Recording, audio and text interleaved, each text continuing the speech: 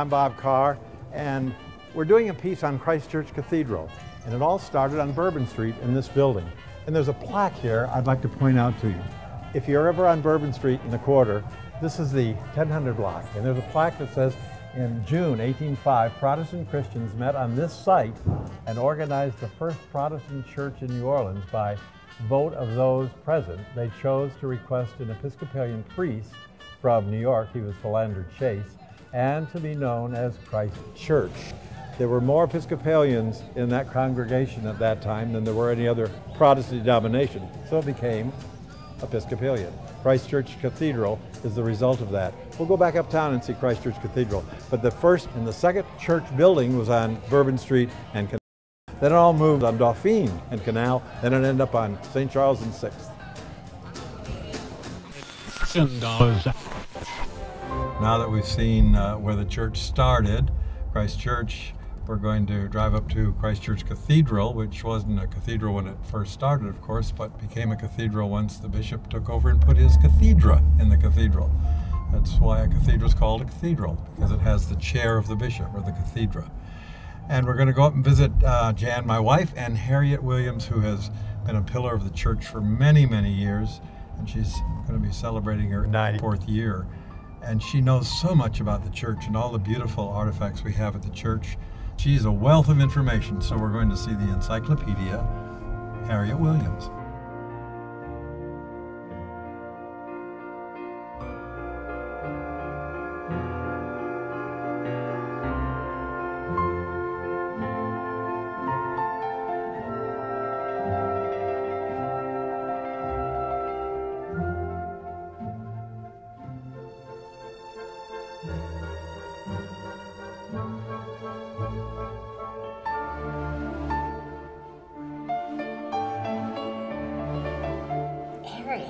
Uh, how's your wisteria, by the way? It's doing good. Oh, look who's here. Hello, lady. Oh, how Yes, is I am. Sit Oh, down. I've been out in the French Quarter where it all started. Now we're going to talk about the things that you know about the cathedral. But I'm Hey, have how about some little coffee? Okay, thank you. Let me pour you some. Look, there we go. Harriet, isn't Oh, this a china? This Yes. looks like the fancy china we use at It the cathedral is. every once in a while. We haven't used paper cups for a long, long time because this lovely lady who was a member of the cathedral Uh-huh. did not like paper cups for coffee. She was used to much better. so she bought us a huge set of English china, and this is a piece of it. Oh my goodness. Well, who was this that did this? This was Leila Williams, Mrs. Kemper Williams. No relation. No, no relation. No relation. There's so many Williamses around. That, Yeah. That's right. And that's where this came from. Fantastic. You know everything about the cathedral because you've been here. Since the 1940s, right? 1940. I was 21 when I married, and, and the year we were married in 39, and we came here, of course, because this was the family church. This church has become very important in your life. It Which has. part of the church is, is the most precious to you? Well, I would have to say the chapel has been the center of my spiritual life. Uh,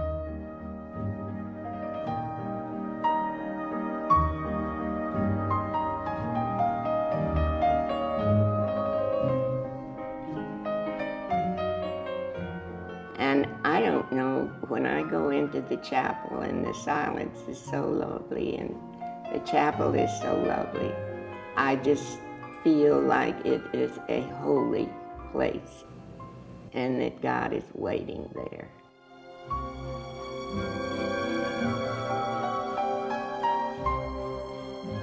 And there's a story behind it. Mrs. Williams, my husband's mother, lost her eldest son. She adored this man, 21. This was a handsome, wonderful young son, so you know. And his name was Bobby. And he and my husband, Bill, were on a construction job that Mr. Williams was doing. And he was injured and died.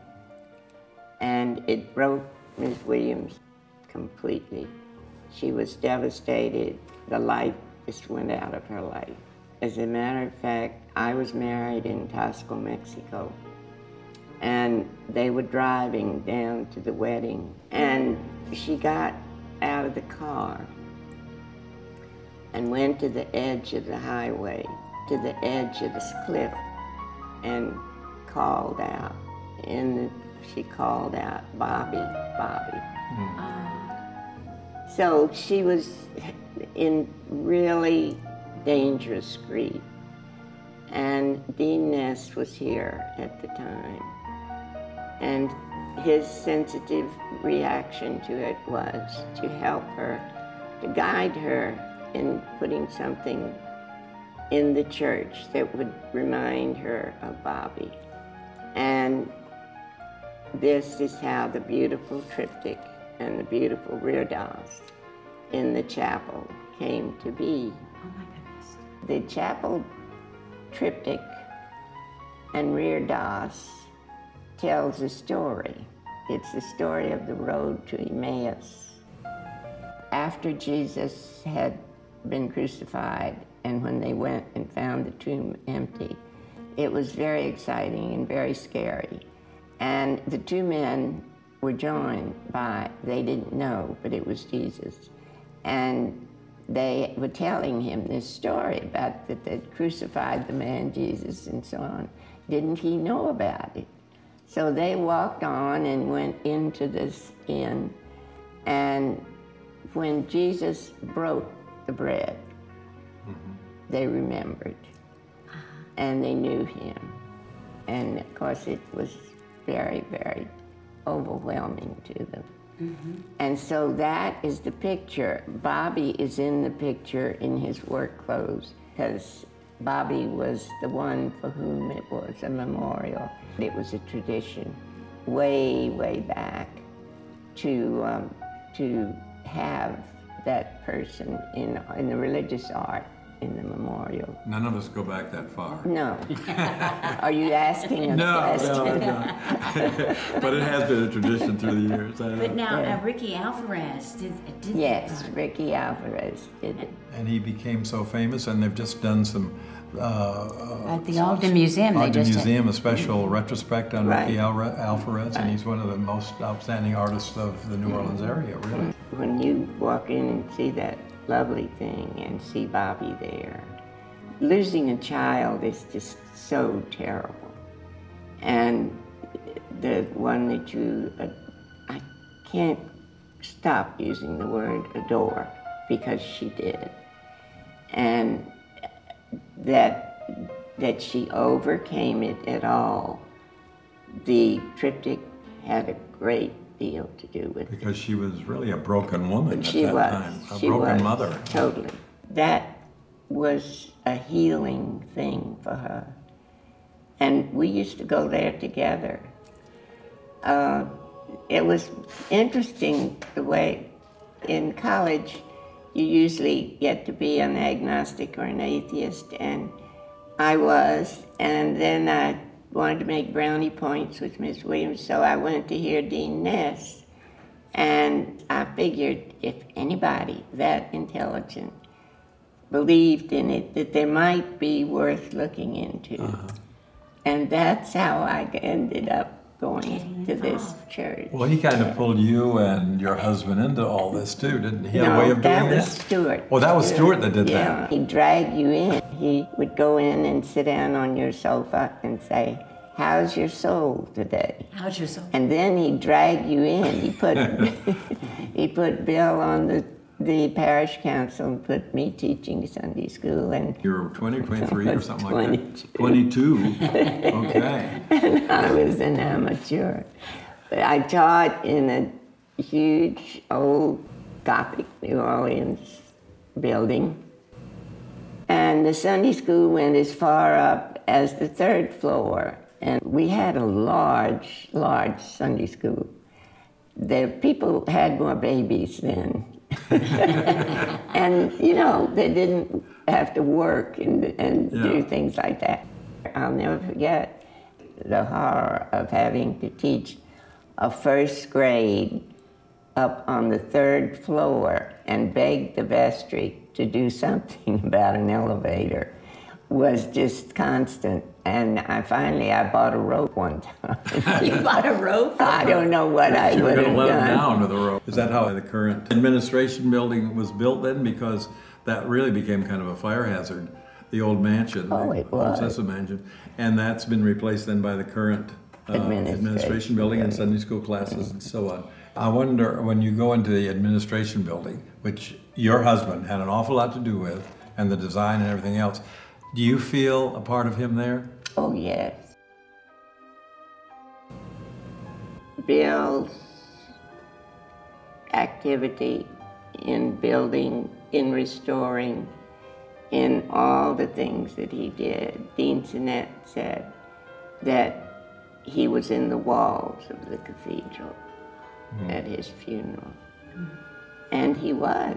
It was that and that was his life. Those walls put their arms around you when you walk in here, don't they? Yes, they do. It's so wonderful that that building is built uh, very much in key with the cathedral style and architecture in a Gothic style. Well, because my husband was was on the vestry, and the, the senior warden and the junior warden constantly, and he was the contractor that built it, but he had a very, very famous architect with him, Douglas Freret.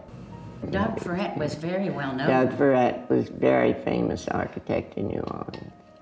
And uh, so Bill was the contractor, and they did the, the artistic part of it. Because it blends in so beautifully. It does. It really looks, the administration building really Yeah. looks like it was built at the same Right. time the church was, Right. which was back in the 1800s. That's true. Now, Harriet, tell us something about a wonderful building that's kind of behind the cathedral, and that's Advent House. Advent House is a special place because it really is for the clergy. There were two Martin brothers that went here, and they were quite wealthy. I think it was oil leases. I think so. I may be wrong. But they left us a large, very nice sum of money. And the dean at that time was Dean Sinet. And I think part of the donation specified that it was to go for ministry. He formed a committee and went to the vestry, and the vestry uh, approved it. And we worked and we worked, and he got so disgusted with us because we couldn't find the right thing that we wanted. And finally, we remembered that we had a beautiful but falling down house on the corner of Carondelet and 7th. He suggested that we redo that. The bishop had had somebody coming in once a month for spiritual direction for the clergy. And the person couldn't do it anymore.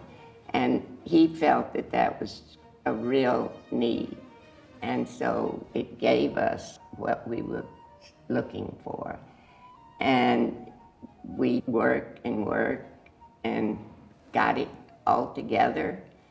And then we needed somebody to run it.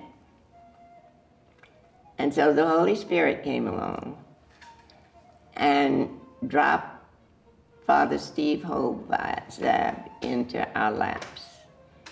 And he became the director. And he is such a holy man. He's so beautiful.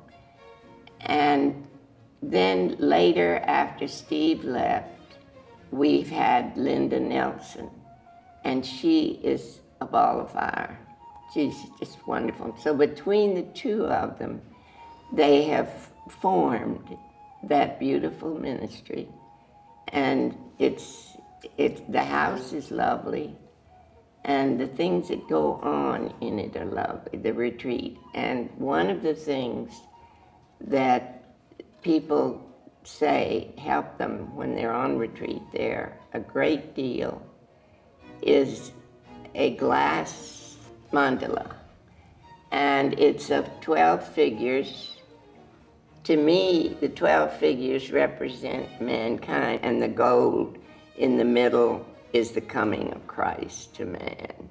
It is magnificent. We were having lunch in Houston's, of all places, trying to decide what we were going to hang behind the little altar. And uh, that is when Steve's idea suddenly gave birth to my son in law's beautiful mandala. And you just never know that Holy Spirit, you never know where or when it's going to be, Even in Houston? even in Houston. What would your suggestions be to, well, thinking of yourself back when you were 20, 22, and you were kind of searching, um, and your search has come all the way around these many years to this wonderful woman you are today. But what would you think uh, to say to people that might want to get involved now but are a little timid about it? that God loves every one of us and loves our talents, and that you bring that love and that talent to the church and use it and give it to the church. Because if you give it, you're going to receive back.